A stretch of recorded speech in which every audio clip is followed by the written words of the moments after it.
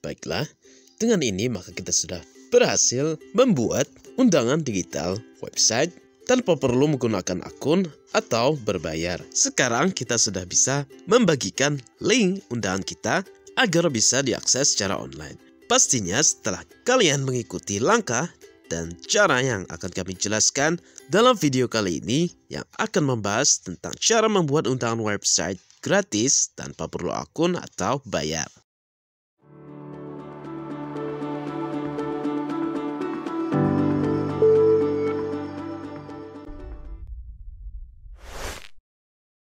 Sebelum kita mulai, jangan lupa klik tombol like, subscribe, dan aktifkan belnya di sini.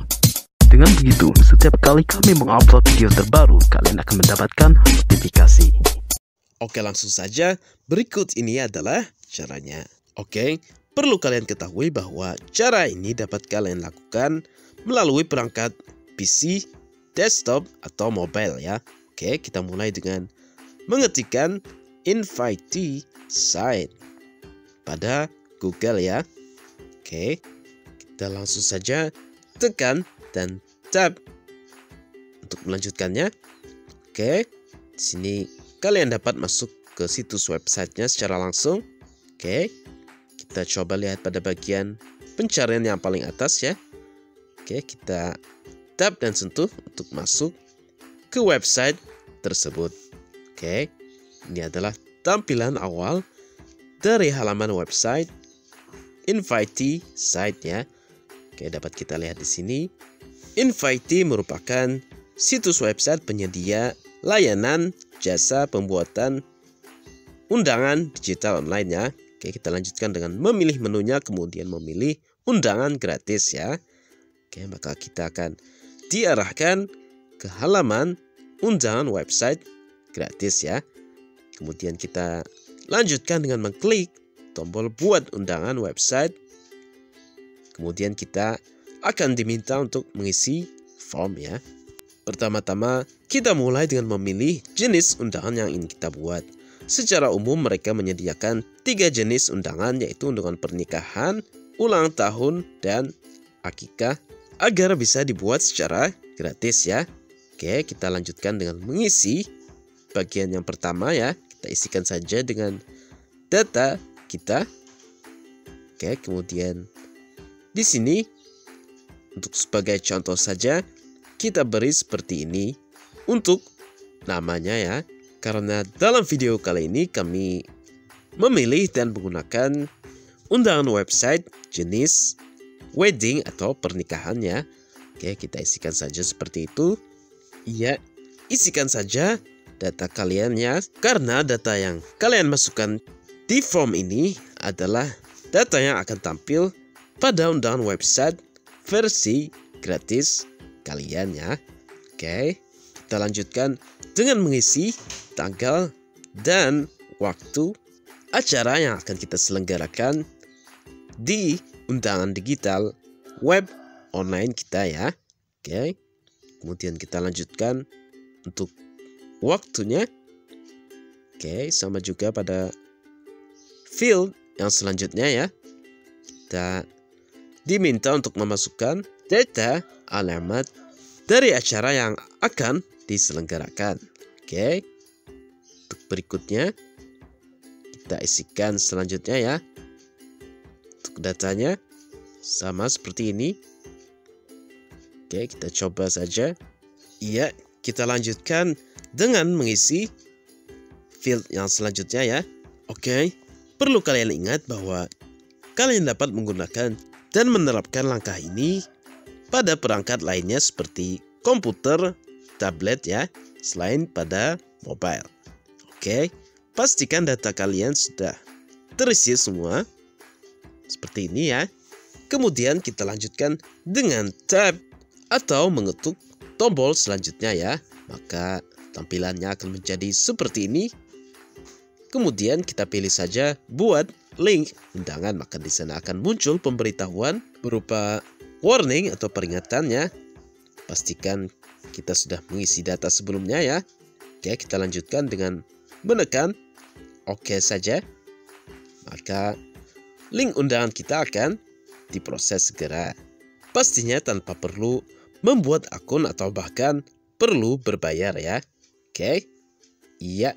Sekarang data kita sudah berhasil diproses dan link undangan sudah berhasil disalin ke clipboard perangkat kita ya.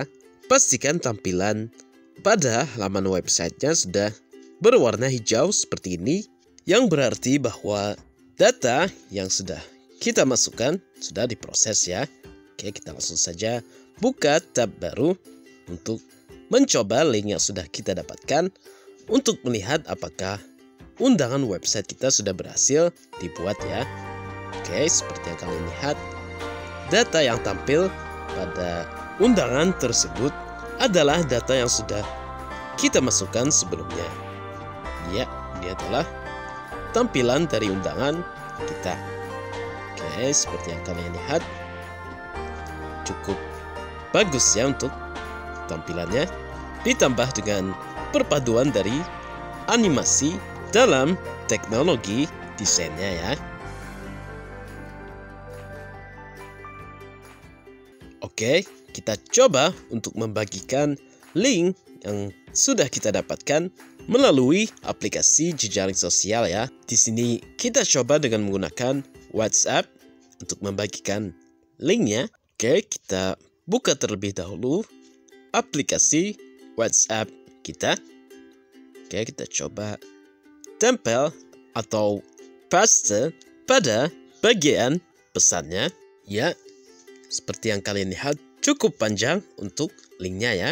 Jika kalian rasa demikian, maka kalian dapat menggunakan fasilitas pemendek URL seperti bit.ly ya untuk memperpendeknya.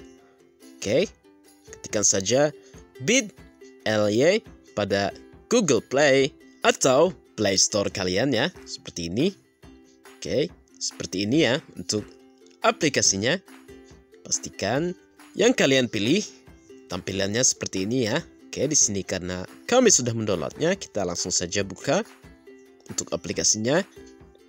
Ya, kita coba langsung tambahkan di sini. Kemudian kita tempel link yang sudah kita dapatkan sebelumnya ya. Oke, kita buat. Kemudian kita beri judul untuk linknya di sini.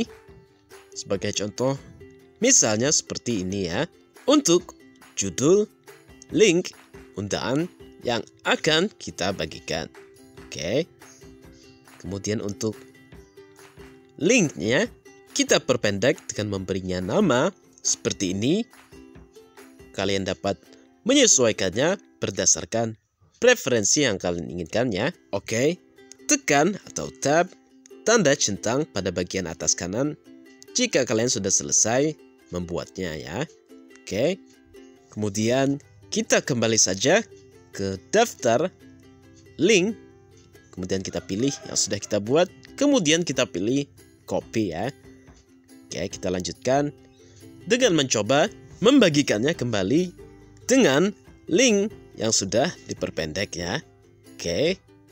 Iya, kita coba kirimkan di sini untuk linknya melalui bagian pesan secara langsung ya. Selanjutnya, kita buka saja. Iya, maka tampilannya adalah sama ya. Seperti data yang sudah kita masukkan untuk undangan website kita. Baiklah, sekarang kita sudah mengetahui bagaimana cara untuk membuat undangan website gratis secara cuma-cuma tanpa harus mendaftar untuk membuat akun ataupun berbayar. Bagaimana? Cukup mudah bukan? Oke, kami pikir demikian. Semoga bermanfaat.